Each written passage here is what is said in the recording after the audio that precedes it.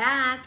This is Jeanette. This is Jeanette's Zen Bag Den. We're gonna show you some beautiful bags and some awesome totes.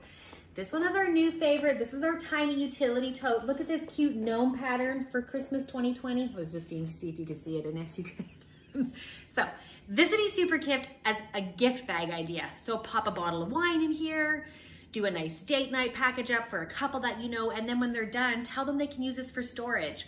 This would be great in an office. It'd be great for like DVDs or Nintendo Switch controllers or games. Tuck it in a cupboard and you've got some really good storage ideas. Give it to one of the littles in your world. I call it a busy bag. So this is what my daughter has in hers. She's got these coloring pages. I think we got these at the dollar store. Some markers are inside. I've got one of our zipper pouches with some of these reusable little, I don't know if you've seen these. Message me if you want to know what these are. They're like little plastic puzzle pieces and I dropped one. I'll have to find that later.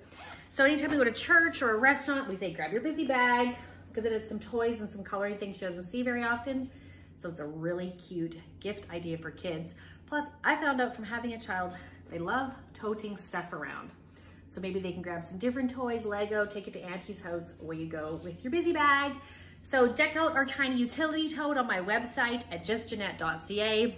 I'm over on Facebook under the same name as this YouTube channel, Jeanette Zen Bag Den. I'd love to hook you up with some free half price items or heck, I love what I do so much. I've been doing this for five and a half years. You can work literally from home like I am in my living room. So I can't wait to hear from you and hook you up with our tiny utility tote for yourself for free gift.